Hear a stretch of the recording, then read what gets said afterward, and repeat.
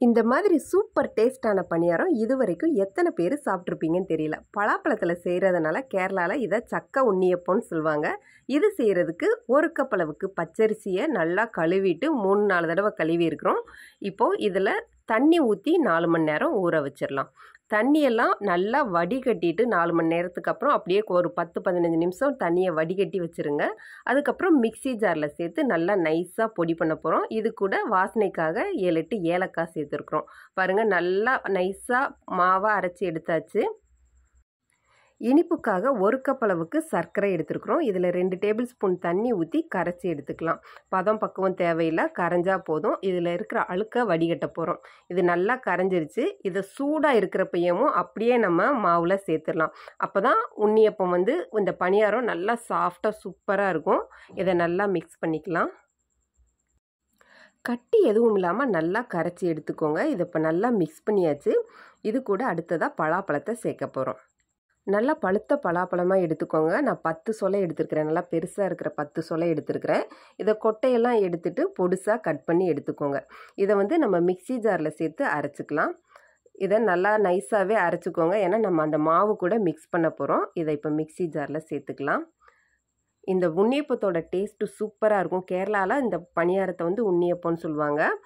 இது நல்லா அரைச்சி எடுத்தாச்சு. இதை நம்ம ரெடி பண்ணி வச்சுருக்கிற மாவு கூட சேர்த்துடலாம். இது ஒரு தடவை செஞ்சு சாப்பிட்டு பார்த்துட்டிங்கன்னா அதுக்கப்புறம் எப்படா பலாப்பழ சீசன் வரும்னு காத்துட்ருப்பீங்க டேஸ்ட்டு அந்தளவுக்கு அட்டகாசமாக இருக்கும். அதுக்கு வந்து நம்ம பலாப்பழ சீசன் வர்ற வரைக்கும் காத்திருக்க தேவையில்லை. பலாப்பழத்தை வந்து நல்லா வேக வச்சு அரைச்சி நெய்யில் சர்க்கரையோட சேர்த்து நல்லா மிக்ஸ் பண்ணி ஜாம் மாதிரி எடுத்து வச்சுட்டோன்னா அது ஒரு வருஷம் ஆனாலும் கெட்டு போகுது. அதை யூஸ் பண்ணியும் நம்ம செஞ்சுக்கலாம். அது பலாப்பழ பாயாச வீடியோவில் நான் போட்டிருக்கிறேன். நீ வேணும்னா லிங்க்கில் செக் பண்ணிக்கோங்க. இப்போது இந்த திக்னஸ் அட்ஜஸ்ட் பண்ணுறதுக்காகவும் நல்லா சாஃப்டாக இருக்கிறதுக்காகவும் கால் கப் அளவுக்கு மைதா சேர்த்துருக்குறோம். இதையும் நல்லா மிக்ஸ் பண்ணிவிட்டு ஒரு மணி நேரம் நம்ம அப்படியே வைக்க போகிறோம் நீங்கள் உடனே சுடணும்னு நினச்சிங்கன்னா கால் டீஸ்பூன் அளவுக்கு பேக்கிங் சோடா இல்லைன்னா ஆப்ப சோடான்னு சொல்லணும் இல்லையா? அது சேர்த்துட்டு நீங்கள் சுட்டுக்கலாம். இப்போ ஒரு மணி நேரம் ஆயிடுச்சு. மாவு கரெக்டான பதத்தில் இருக்குது இது கூட ஒரு டீஸ்பூன் அளவுக்கு எள்ளு சேர்த்துருக்குறோம். உங்களுக்கு விருப்பம் இருந்தால் தேங்காவை பொடிசாக கட் பண்ணி நெய்யில் வறுத்து சேர்த்துக்கோங்க. சூப்பராக இருக்கும். நான் இன்றைக்கி சேர்க்கல. மாவு பாருங்கள் சூப்பரான பதத்தில் கரெக்டாக இருக்குது இப்போ எண்ணெயில் நம்ம சுட்டு எடுத்துடலாம்.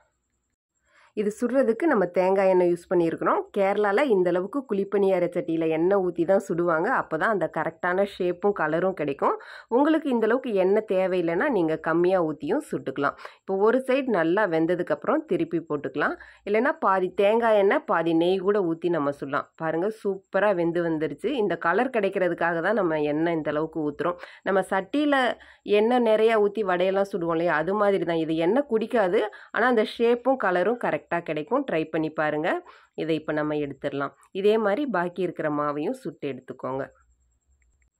கேரளா ட்ரெடிஷ்னல் உண்ணியப்பும் ஏற்கனவே நம்ம ஷார்ட்ஸில் போட்டிருக்கிறோம். வேணும்னா அதையும் செக் பண்ணி பாருங்கள் இந்த ரெசிபி ட்ரை பண்ணி பார்த்துட்டு மறக்காமல் உங்கள் கமெண்ட்ஸை ஷேர் பண்ணுங்கள் பாருங்கள் எவ்வளோ சாஃப்டாக சூப்பராக வந்திருக்குது.